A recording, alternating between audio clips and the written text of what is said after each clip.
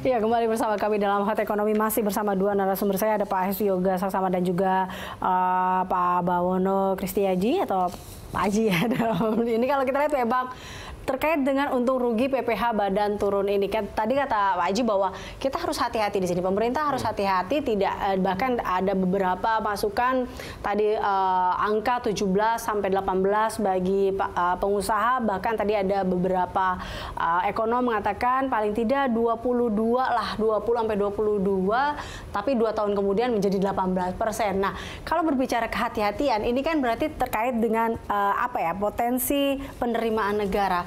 Nah ini ada dari uh, analisa Indef mengatakan bahwa rencana penurunan ini mungkin dianggap bisa berpotensi uh, sedikit merugikan negara hingga 53,16 triliun rupiah. Bahkan diperkirakan penerimaan PPH badan tanpa penurunan tarif di uh, tahun 2019 ini aja sebesar 265,78 triliun rupiah. Namun apabila PPH badan ini diturunkan sebesar 20 persen, maka akan menjadi 212,63 triliun rupiah.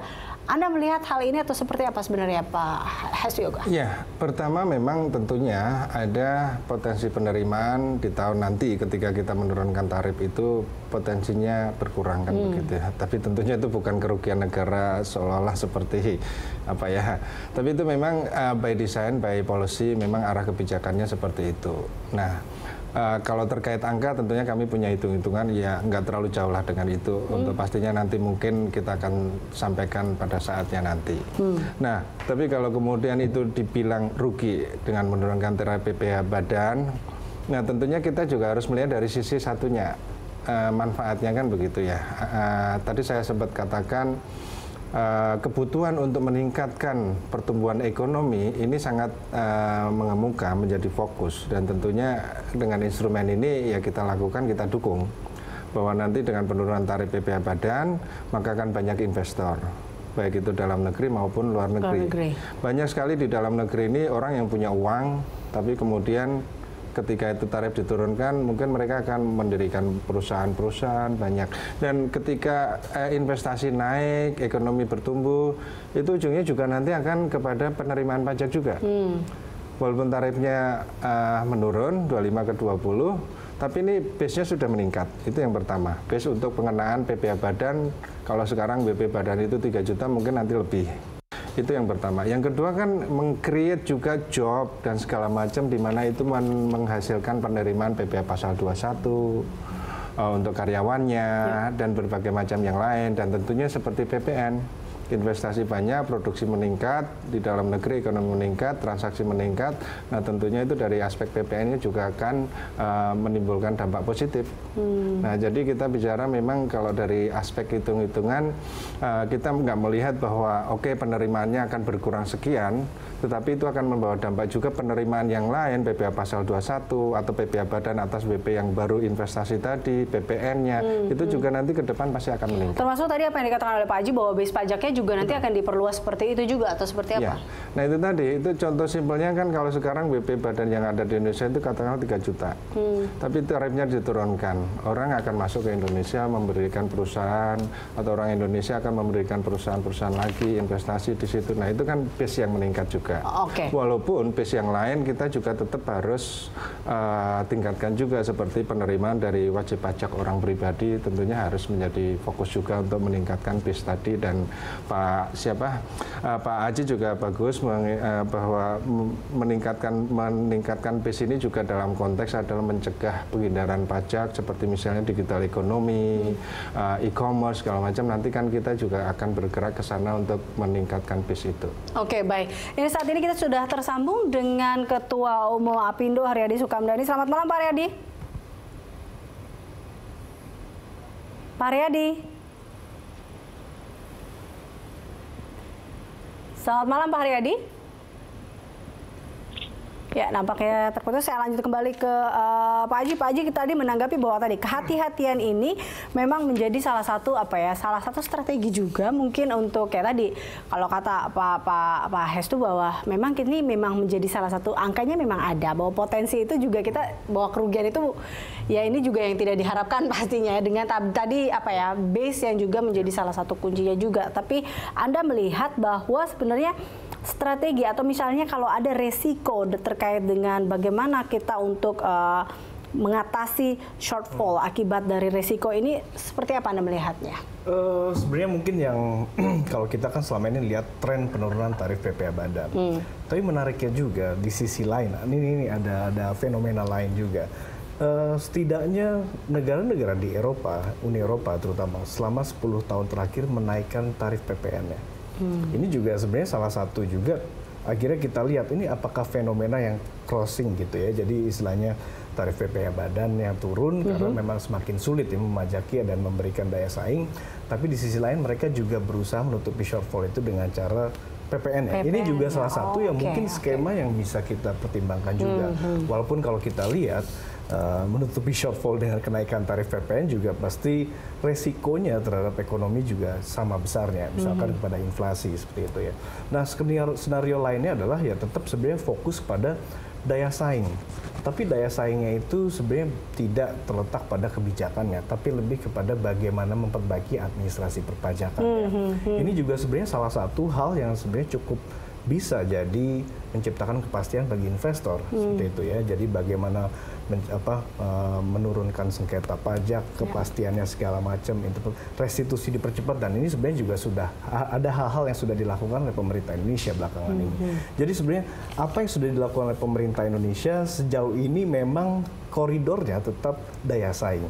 Memang kalau kita lihat pilihan-pilihannya mungkin tidak ada yang secara jangka pendek okay. itu semuanya menyenangkan gitu ya karena kalau kita bicara tentang trade off antara penerimaan dengan misalkan masalah juga daya saing yang walaupun daya saingnya itu juga belum tentu menarik investasi tapi ini worth to try juga worth to try ya. sejauh mana sih anda melihat bahwa penurunan BPH atau PPH badan ini tadi ya bisa meningkatkan perekonomian atau atau mungkin bisa me, ini membangkitkan tadi ya pertumbuhan atau investasi ya. uh, pergerakan ekonomi ini. Uh, memang uh, kalau kita bicara tentang masalah investasi, ini kan kita tidak bicara cuma persoalan semata-mata pajak pastinya hmm. kayak gitu.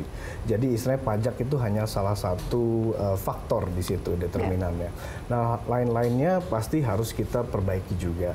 Nah, tapi ketika kita bicara tentang tarif gitu ya tarif apakah itu langsung serta merta menaikkan atau meningkatkan investasi kita harus ingat konteksnya sekarang ekonomi dunia itu lagi perlambatan semuanya hmm. perang dagang semuanya lagi hold semua juga capital supaya jangan lari dari negaranya yeah. supaya jangan pindah ke mana-mana hmm. jadi ini faktor eksternal juga yang perlu harus diperhatikan juga jangan-jangan ketika tarifnya turun tapi mereka atau dana-dana global masih belum bisa bergerak ini juga sesuatu yang harus kita waspadai. Oh, oke, okay, baik. Ini menjadi salah satu yang harus kita waspadai. Nah, ini oke, okay, saya kembali uh, menyapa Ketua Umum Apindo Pak Haryadi Sukamdani. Pak Haryadi. Ya, selamat malam Mbak Elisa, Pak Yoga, Pak Bawono. Ya, selamat malam Pak Haryadi. Ini tadi menanggapi bagaimana tanggapan Anda terkait dengan rencana dari penurunan uh, eh, PPH badan ini sebesar 20 persen? Tentunya kami menyambut baik ya karena memang kan usulan dari dunia usaha juga seperti itu. Karena memang kita berharap bahwa daya saing kita ini bisa meningkat. Dengan penurunan tarif itu otomatis dana yang ada di dalam perusahaan itu kan bertambah. Nah itulah yang dipakai untuk ekspansi mbak. Dengan kita melakukan ekspansi menambah uh, produksi kita sehingga kita itu akan mencapai daya saing lebih baik gitu loh karena biayanya otomatis akan lebih rendah.